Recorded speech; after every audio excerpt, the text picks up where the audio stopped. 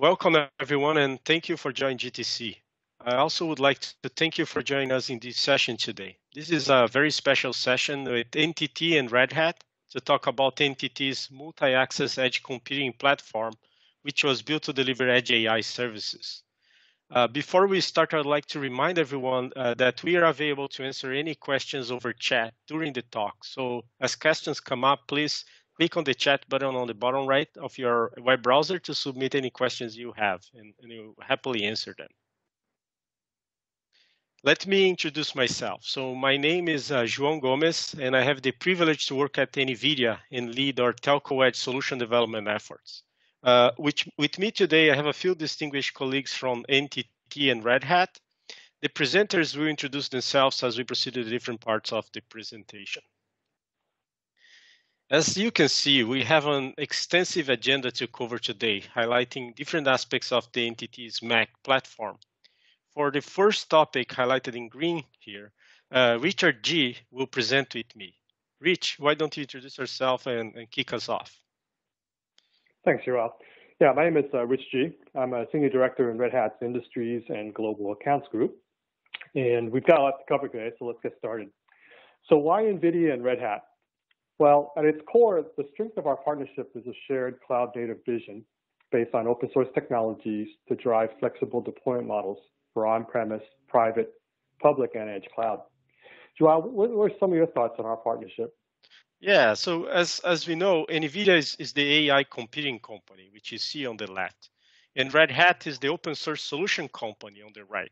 And we have established a very broad collaboration to really accelerate and simplify the development and deployment of AI and graphics application.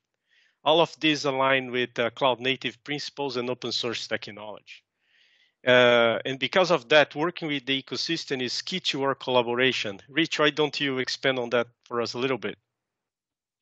Sure. We'll be talking today uh, quite a bit about our leading platforms, but ultimately it's together that we build a broad ecosystem to deliver innovative solutions on an open hybrid cloud application platform. In this session, we'll see how NTT has leveraged uh, our partnership and our platforms to deliver new 5G, AI, and edge services in case you're not that familiar with Red Hat or OpenShift, here's an important, uh, few important things to know. First, all Red Hat software development is done in open source. So you probably know that we participate in and create community-powered upstream projects. Then we integrate multiple projects to foster community platforms. Finally, we stabilize these platforms and projects together with a rich ecosystem of services and certifications. The colored blocks represent an example of our platforms. Red Hat OpenShift Container Platform is an enterprise-ready Kubernetes container platform with full-stack automated operations to manage hybrid cloud, multi-cloud, and edge deployments. It's a unified platform that has, has integrated many open source projects, tools, and the service is critical for both developers and operations. Here you can also see a sampling of some certified partners, which shows the breadth and depth of our ecosystem. In many ways, OpenShift is an ecosystem platform for creating and managing cloud native applications. The emergence of containers, Kubernetes, and DevOps centric application delivery has been driven by many different open source projects. So being able to leverage a robust ecosystem is key to any successful digital transformation. Let's look at how NVIDIA and Red Hat work together to accelerate AI and address some common industry challenges. Thanks, Rich. Um, that was good. Uh, well, this session is about NTT's MEC platform, right, that leverages capabilities that both Red Hat and NVIDIA have built together. And what you can see on this picture are some of the foundations of this solution. Uh, EGX at the bottom is, is the NVIDIA platform that enables different AI applications such as intelligence video analytics, augmented and virtual reality, robotics, and 5G. These applications, they leverage GPU accelerated compute to implement different AI, deep learning, and graphical technologies required by the applications. And the key here is, is to enable independent developers to create these apps using different application frameworks that NVIDIA has built. As you can see here in the picture, Metropolis, CloudXR, Aerial, Isaac, and others. These frameworks, they provide tools and SDKs to speed up development time and also ensure compute efficiency of the applications. This in turn creates uh, a large ecosystem of applications from dependent software vendors that service providers like NTT can benefit from. Uh, these applications, they need to rely on open source software to access GPU compute and run as cloud native software.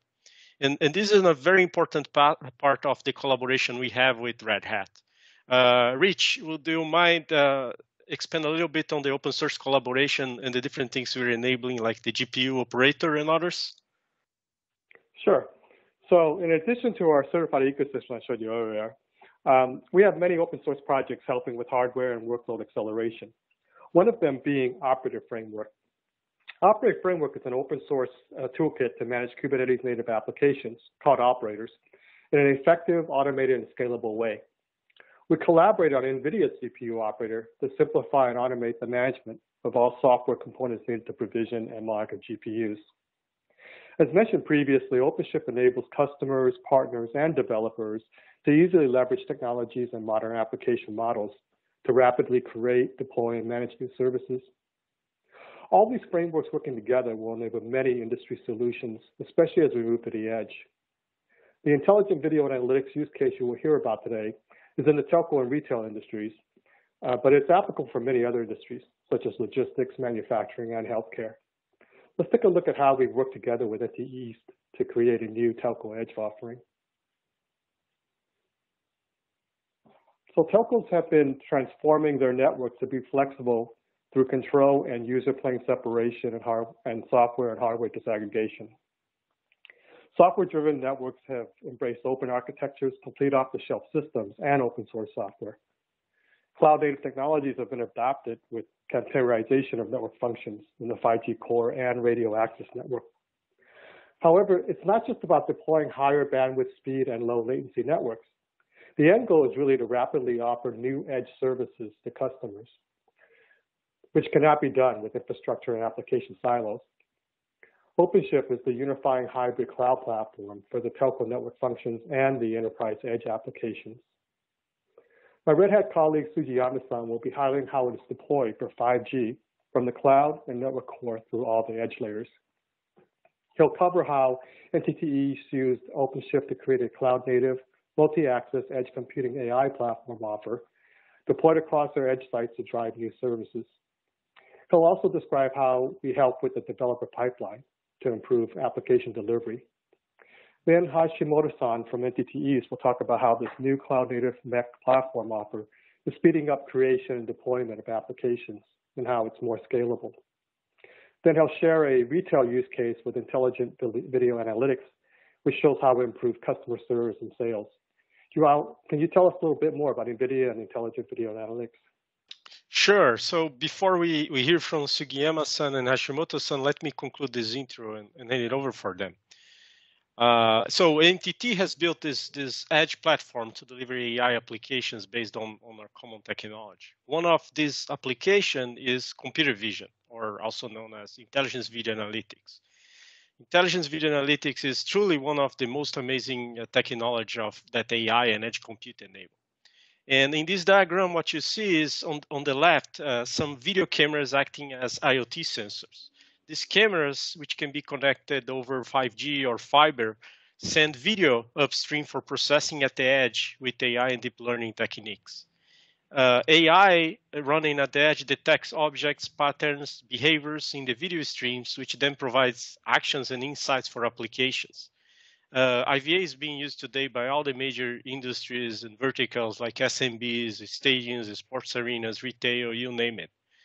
And IVA is, is a very nascent technology, it's a new technology. And, and the way we enable the ecosystem is with the application frameworks we, we like Metropolis, as you can see on the top right corner on this, on this diagram. Metropolis being an application framework provides SDKs, APIs, and tools for developers to build these applications. And ultimately, what Metropolis creates and enables is this large number of apps from hundreds of independent software vendors that service providers like NTT can leverage to create new services. And that is, in a nutshell, what this is really about. I will now hand it over to Sugiyama-san that will share more details on how this is actually implemented by NTT with Red Hat and NVIDIA technologies. Hello, everybody. My name is Haru Sugiyama. Chief Architect at Red Hat. From my side, through this talk, we'd like you to know that latest edge trend in Japan and OpenShift foundation technology that is advantage of NTT's MEC AI platform.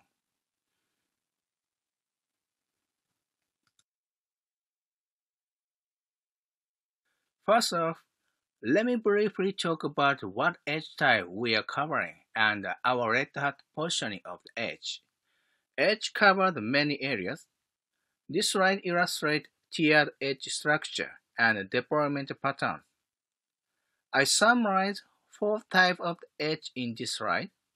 Device edge, custom premise edge, telecom edge, and centralized cloud edge. We have two edge products, RHEL and OpenShift Container Platform. RHEL can be deployed as a device edge and custom premise edge and radio access network distributed unit. OpenShift Container Platform can be deployed as custom premise edge and telecom edge, including far edge, near edge, regional edge. Far edge is a local access site such as NTT Group Center. Near edge and regional edge are the regional aggregation site. And we focus on the telecom edge in this session, especially to the regional aggregation site. In the telecom edge area, we have a flexible design to deploy OpenShift Kubernetes node with a machine config pool that service provider can select designed machine type such as D-RAN, distributed radio access network, C-RAN, cloud radio access network, and cloud native MEC in each Kubernetes cluster. We have three unique designs for OpenShift cluster in addition to the standard Kubernetes cluster. OpenShift 3 node cluster, OpenShift remote worker node cluster, and we have planned to release a single node OpenShift cluster this year. OpenShift 3 node cluster integrates OpenShift worker and supervisor node to each of the three servers in the single cluster. OpenShift remote worker node cluster can extend the single worker node to near edge or far edge from OpenShift supervisor node placed in the regional edge or core site. Single node OpenShift will be integrating worker and supervisor in a single server. So we have a solution for zero-touch provisioning across telecom edge and telecom core.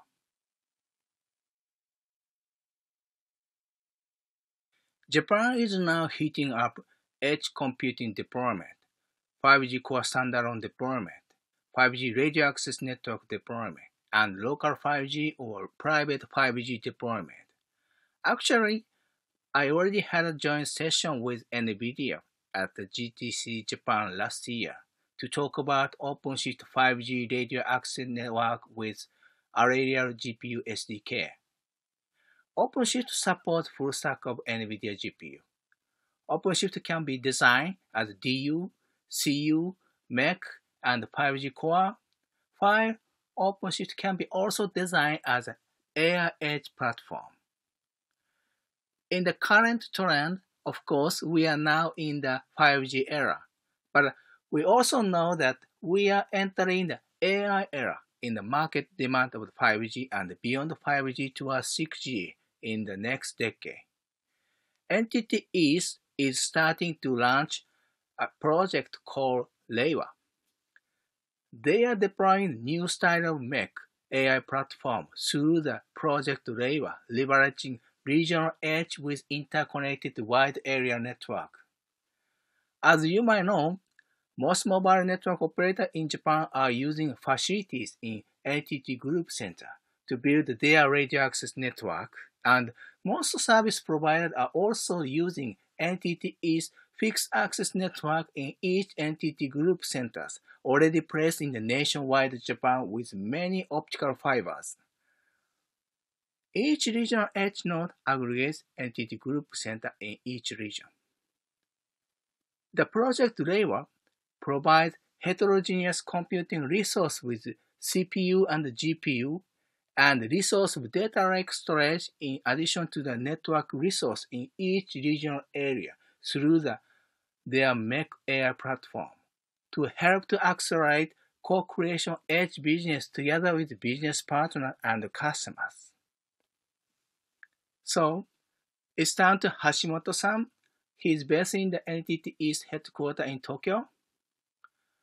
He will talk about the business case on MEC AI platform, accelerating by OpenShift and NVIDIA GPU. Hello everyone from Japan. In my part, I'd like to introduce about a video analysis AI platform we're developing for this summer. This is a MEC platform integrates networking and computing to make video analysis more accessible. First, let me introduce myself. I'm Yuki Hashimoto from NTT East. I'm new business development for IVA. Then we NTT East are Japanese leading telecommunications company with over $16 billion in sales a year. We operate in a wide range of domestic markets by utilizing the customer base and the expertise in communication networks and ICT. We have 1244 million FTTH subscribers and our fiber optic lines cover about 95% of the population in Japan. In recent years, we're particularly focused on digital transformation with AI. Just a few years ago, the communication services we provided, such as telephone and internet, were people centered. But recently, the requirements for communication services have been changing dramatically because we're all in the IoT age, where everything is connected to the network. Now, we're contributing to the realization of a smart world. The way to realize the world smarter is FMEC a combination of FTTH and edge computing. But just the moment, uh, think about it. When you think of just MEC, you probably come up with being built by 5G operators. FMEC we propose integrates at the high level FTTH, which is a low latency, low electricity, and high security with the computing resources. It only makes it possible for us to build FMEC because of our high FTTH penetration rate in the country. We originally have a large number of telecommunication facilities, stations, and buildings throughout the country. We can install edge computing and vacant our buildings because We've been working on upgrading them continuously. We're moving forward with constructing a new architecture that integrates networks and computing to meet IoTA's needs while making the most of our original facilities. We believe that video analysis is one of the fields where the capabilities of FMEC are most practical. That's because our FMEC has the power to transmit and analyze the massive amount of real-time stream images captured by cameras all over the city. Okay, let me tell you quickly about IVA markets in Japan. The domestic IVA market is expected to grow to $1.4 billion by 2023. More than 1 million IP cameras, the key devices that support it, are shipped annually. It's estimated that there's more than 5 million IP cameras in operation in Japan, and they're widely used in all kind of industry and business categories. Therefore, it's assumed the infrastructure of IP cameras has sufficient potential to expand IVA business. On the other hand, even though there's a very high level of interest in using AI for video analysis, the number of cases where it's actually being used is very limited. Why? Our hypothesis is that delivery method is a main problem. The current mainstream is an on-premise style, right? It resizes images and analyzes them through an AI inference model by computing on cameras. But we're considering this way has three major pain points for ISVs. First, they have to install user-specific systems like system integration. Second, it needs to manage multiple locations from start to end. Last, high cost. This is the concept we're actually aiming for. We'll have a platform with GPU servers to consolidate the AI analysis. We want to collaborate with many ISVs to create a world where customers can easily add their AI to IP cameras and enjoy multiple AI applications. Fewer servers at the base, more computing resources on FMEC. So we've already started our POC. We've made the application containerized with Docker and lifted them to FMEC. We're also developing the infrastructure to accommodate more cameras on a single Docker host. Through this development, our platform has been configured like this. We're going to provide a network, GPUs, and a container orchestration environment. So all ISVs have to do is containerizing their applications. Our goal is to be the best choice platform for all ISVs. The keyword is 3S. Let me show you one by one. The first S is about speed. Our priority is how to enable ISVs to deliver IVA application faster with FMEC. We're not only adopting container orchestrations, but we're also trying to make various features available on managed basis. It seems that there's each ISVs for each development environment, so we make it possible they can use the domain they already use. They can develop AI application and models in their current environment, update them, and push them as a container images to AWS ECR. We're planning to use our managed services for automatic deployment to the container.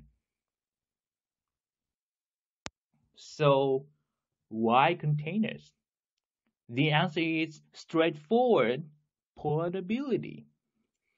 Once you package your application into a container in the development environment, you can carry, carry the container image from staging to the, to the production. We understand that it's very convenient, and that's why containers are widely used. Then, why container orchestration?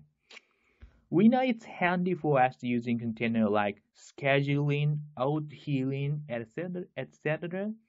But when you try to make agile circles of CI/CD like this with containers portability, we need to design and manage infrastructure declaratively with Kubernetes manifest. That's where OpenShift comes in. We think the current best practice is GitOps. Red Hat will introduce it later. Stay tuned. Okay, let's move on to the following S scalability. Suppose you build the servers on premise at each location. In the case, you need to manage projects for each customers and each site. On the other hand, even even if you provide a cloud services, you still need to take care of the network and the security. These things are nothing to do with developing AI itself, right? Don't you think it's considerable burden for ISVs? They can control customer sites all over the country country at once by FMEC. Do you want to fly to hundreds miles far away just to install the edge machine? Do you want to do you want to run to POC places for every single application update? Do you want to bring the edge machine back to your office and then update them manually? It's scheduling for on-site visits, not really what you should do. And the only way to scale your business is to leave everything but AI development to FMEC. There's no reason not to use FMEC. Okay, last S, sustainability. Even after the POC finally starts, there's still many problems like this. Service spaces, GPU resources, heat, getting unplugged, and on-site maintenance. That's different definitely obstacles when ISVs want to keep scaling their service agilely. Okay, how about outsource all delivery and field operation issues to entities in FMEC? You can get the sustainability for scaling the AI businesses. We can organize the maintenance work after selling the AI. That's because our one of the strong point is an ecosystem which supports the local community that we have cultivated as a regional telecommunications carrier. You can focus on enhancing your AI applications by letting entities handle the field work, which is heavy burden for both system and cost. As you know, FMEC has three keys to support ISVs perfectly. We've already received inquiries from many IVA ISVs, and they've already started POC with customers on FMEC platform. Today, let me show you use case in retail markets. Okay, let me introduce a use case of a trial company, Fukuoka, Japan based, that runs grocery stores nationwide. They've started using ROI's behavior analysis technology in their stores. Let me explain you the background first. Generally speaking, the retail industry in Japan is suffering from a chronic workforce shortage. Moreover, they have to take many COVID 19 measures, such as social distancing, temperature checks, disinfections, and setting up partitions. Hiring new people is not a practical way to solve the problem of workforce shortage. That's why we need to keep introducing AI to take place what people originally do. If customer service declines, so will profit. So we've introduced customer behavior prediction AI in cosmetic areas where trial company wants to reinforce customer loyalty. It enables for store clerks to find a very easily high engaged, engaged customer with noti- notification from their smartphones. It's possible to find out potential loyal customers and use it as a warning to deter shoplifting as well. It's a way to suggest the best method to serve customers so that the clerks can do it effectively with the least amount of operation. This is the use case of increased sales and steady decrease in shoplifting, as shown by the highly satisfactory customer services. IVAI introduced here can be a customer service support tool to solve workforce shortage. Okay, now is the time to wrap up for handover. NTT FMEC is a combination of the customer's existing cameras, NTT's managed services, and the ISV's AI application. ISV can use this architecture as the minimum configuration. We realize the integration of SaaS-based AI applications, secure high bandwidth FMEC, and existing cameras. Customers can start AI analysis in the amount they want to use with cameras already they have without new system integration. Next, Red Hat will show you container-based GPU optimization that provides managed capabilities of application deployment and supports easy integrations with ISV development environments. Thank you all. Thank you. Okay, let me dive into the technology for NTT East MEC AI platform furthermore and to see key points of their new Edge AI service planned to release this summer. This slide shows example for the IVA, Intelligent Video Analytics Service. Typical traditional AI service needed embedded GPU IP camera for a single customer to deliver the single AI service. As Hashimoto-san mentioned, NTT East allows partner and customer to run many type of AI workload on the OpenShift GPU MEC platform at regional aggregation edge. The customer can deploy simple IP camera to get multiple AI service. So single IP camera can be leveraged for the many IVS services such as shoplifting detection AI service, face recognition AI service, people flow analysis AI, and behavior analysis AI. It's more economic way delivering the right service to meet each of customer demand. Also, East is transforming the service delivery method through GitOps practice that I'll tell you later, IVA business partner just deployed their post-processing application so that they can deliver their AI service with GitOps on the NTT East MEC AI platform running OpenShift and GPU. NTT East provides common service elements including RTSP client application pod and AI workload pod to each IVA business partner in each project namespace on OpenShift GPU MEC platform.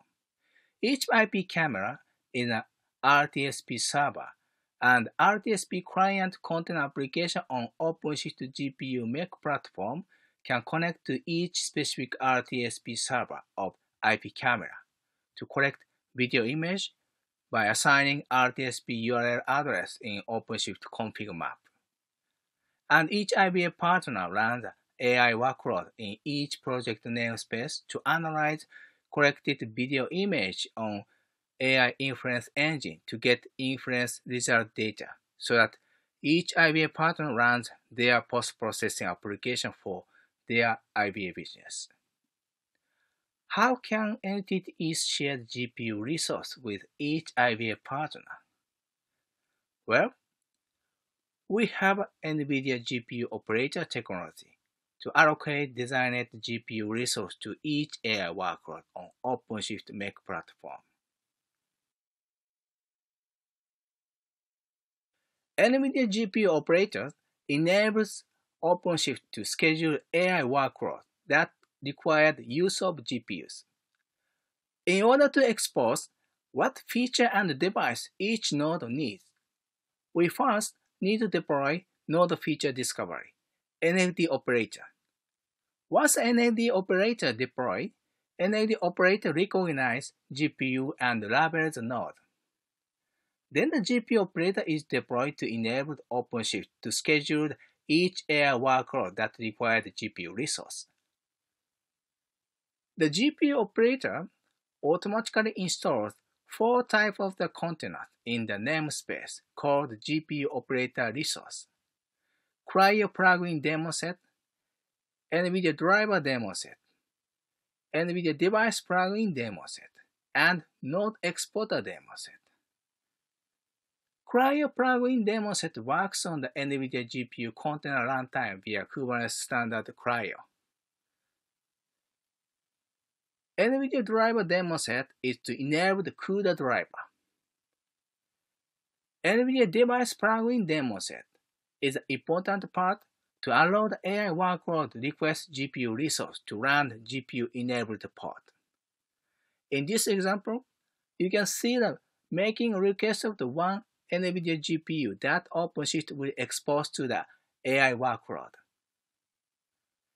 NVIDIA Node Exporter is to run the DCGM Data Center GPU Manager to expose node level information monitoring to Prometheus. NVIDIA GPU Operator is already released in the OpenShift Operator Hub. GPU Operator for OpenShift will help to simplify and accelerate computing intensive machine learning or deep learning modeling tasks for data scientists, as well as help running inference tasks across NTT's MEC AI platforms. Lastly, before hand over to US Jim, I'd like to highlight one more unique point in NTT's cloud-native MEC AI platform, which is GitOps. NTT East is now working on the GitOps practice for finding the way to new continuous delivery on OpenShift MEC AI platform. The application is packaged in the container image and automate testing and deployment. In order for smooth delivery together with the partner and the customer, current best practice they found is GitOps that Kubernetes community is already doing. GitOps is a set of practice to use Git pull request to manage infrastructure and application configuration. Git repository in the GitOps is considered only the source of truth and contain the entire state of the system so that tail of change to the system state are visible and auditable. In this deployment scenario, the partner is keeping its own CI pipeline and submitting the PR pull request through the deployment Git for deployment repository when they need update the application with manifest file. The application is deployed in the NTT East staging environment for testing and then will be deployed in the NTT East production environment under the same CD pipeline if the test was successful. So they are now following GitOps principle. In the GitOps principle, configuration of system can be treated as a code. So they store it and have it automatically manage the version in the deployment Git. That way, they can roll out and roll back change in the system in the easy way. Using Git pull requests, they can manage in the easy way how changes are applied to the stored configuration. On top of that, they can leverage Git security mechanism in order to ensure the ownership. So they don't need share their cluster credential with anyone. The person committing the change only needs access to the deployment Git repository where the configuration is stored. They only need software that makes sure no configuration drift are present. Red Hat recently released a new OpenShift GitOps tool adapting Argo CD for operators, along with a new OpenShift pipeline tool adapting Tekton for application developers. We'll improve GitOps to carrier-grade oriented system furthermore with OpenShift GitOps for the next step. Okay, that's all from my side. Wow, that was a lot of information. Let's recap. NTT East created and is ready to deploy a cloud-native MEC AI platform at aggregation edge sites to deliver various services over their fiber-to-the-home footprint of uh, regional edge with interconnected wide area. They use the latest technologies from Red Hat OpenShift Container Platform and NVIDIA GPUs to build their new MEC platform with GitOps practice to help accelerate their customers' digital transformation. This innovative platform enables rapid co-creation projects with partners and customers by turning each IP camera into a target for leveraging various AI services. NTT East shared a retail use case with Trial, where it improved in-store customer service, resulting in a year-over-year sales increase of 105% and 30% reduction in losses. All right, and I think with that we conclude this session. But just before we go, I would just to share, I would like to share some other Red Hat re related sessions we have at GTC. Some might be relevant for you, a lot of good content there. And in addition to this Red Hat related sessions, there are a lot of good content uh, regarding related to EGX, NVIDIA EGX, NVIDIA Metropolis, Cloud XR, Aero, and many others. So with that, I would really like to thank NTT and Red Hat for this session, and also thank you all of you for your time. And I hope you enjoy GTC. Until next time.